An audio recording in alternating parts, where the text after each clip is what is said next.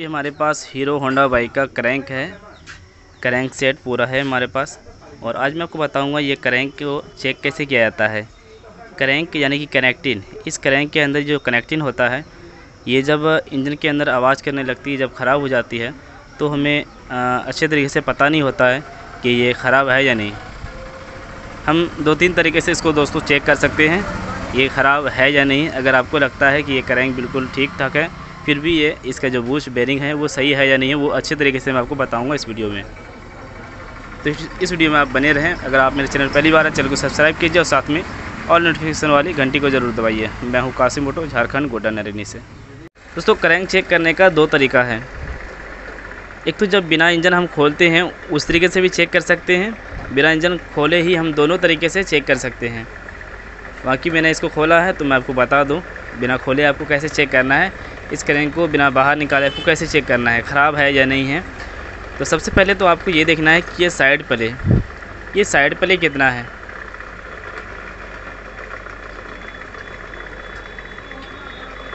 आपको side play देख लेना है। अगर ये साइड प्ले आपको ज़्यादा लगता है तो फिर आपको बनवाना चाहिए। अगर कम लगता है तो फिर नहीं बनवाना चाहिए। ज़्यादा कम का मतलब ये है कि आ, ये हमें साफ़ पता चल जाता है दोस्तों कि ये कुछ ज़्यादा प्ले है।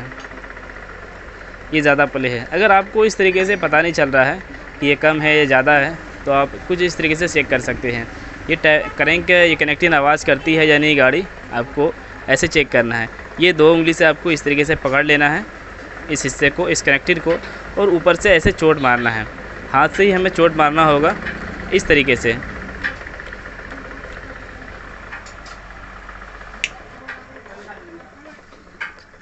अगर हम इसके ऊपर इस तरीके से चोट मारेंगे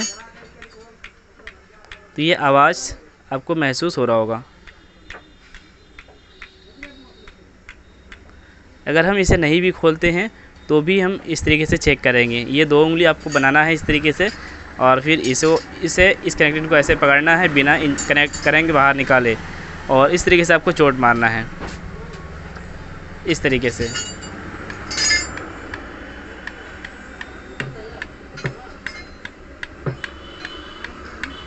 आप सुन पा रहे हैं इसकी आवाज़। ये आवाज़ कर रही है ये कनेक्टिंग ये आवाज़ इसलिए कर रही है कि ये जो कनेक्टिंग है दोस्तों ये ऊपर नीचे प्ले हो चुकी है।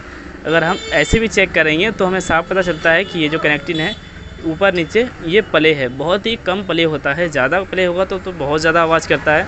और कम प्ले होता है तो ये कम आवाज़ करता है। लेकिन जितना भी प्ले हो कम प्ले हो या ज़्यादा प्ले हो ये आवाज़ करती है। अगर ये ऊपर नीचे अगर प्ले है बहुत ही कम एक कागज़ के पन्ने के बराबर उससे भी कम तो भी ये आवाज़ करेगी, एक पानी के बराबर भी कम है तो। अगर ज़्यादा ज़्यादा प्ले है तो और ज़्यादा आवाज़ करेगी, लेकिन ये आवाज़ करेगी।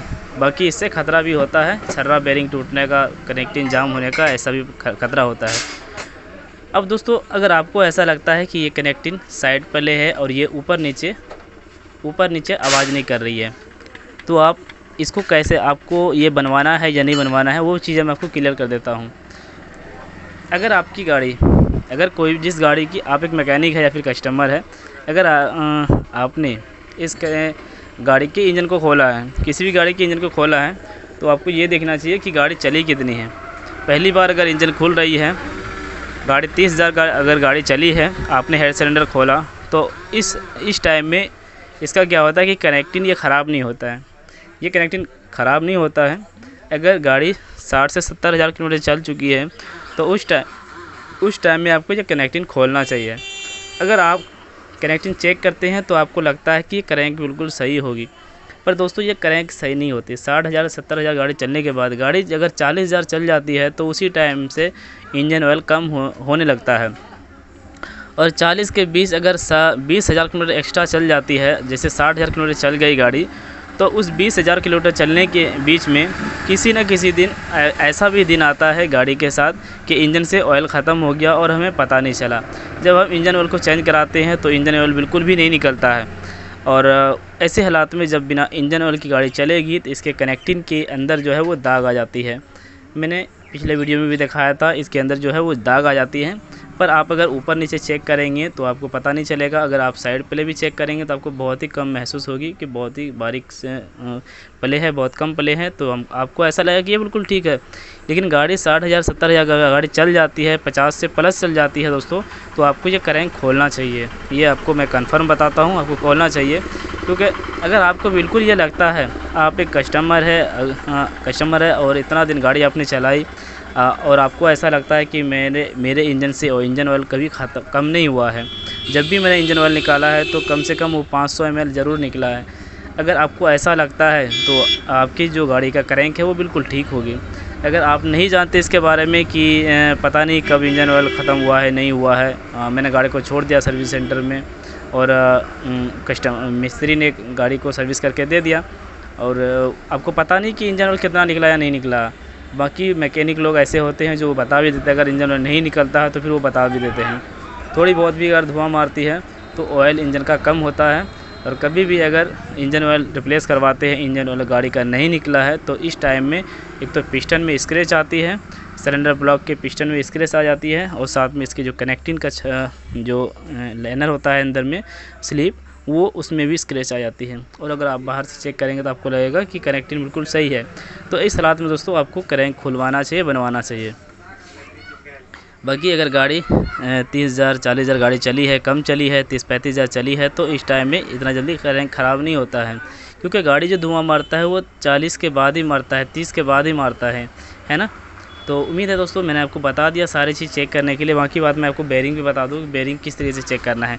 बेरिंग का जो साइड प्ले आपको देख लेना है, ये साइड प्ले जैसा देख सकते हैं कि ये साइड प्ले भी बेरिंग है। अगर हम इस बेरिंग को ऐसे अगर चेक करेंगे तो ये साइड प्ले आपको हमें नज़र आती है। और ये ये बेरिंग बहुत ही कम प्ले है। और ये बेरिंग ज़्यादा प्ले है। इनमें से एक बेरिंग ज़्यादा प्ले, एक बेरिंग कम है। तो हमें बेरिंग भी चेंज करना चाहिए। हालाँकि बेरिंग अगर आप घुमा कर देखेंगे तो आपको बिल्कुल भी आवाज़ महसूस नहीं होगा। लेकिन दोस्तों बेरिंग आवाज़ करता है। जब गाड़ी पर लोड पड़ती है इंजन हम स्टार्ट करते हैं, काफ़ी ज़्यादा स्पीड में चलती है जब हमारे इंजन तो उस टाइम में ये बेरिंग का भी आवाज़ आता है। जब भी हम करें का काम करवाएँगे तो हम बेरिंग भी ज़रूर चेंज करवाएँगे। ये हमें ख्याल रखना चाहिए। और इसे, इसके ज़रिए से इंजन की आवाज़ बहुत ही बेस्ट आ जाती है। बिल्कुल अच्छी हो जाती है।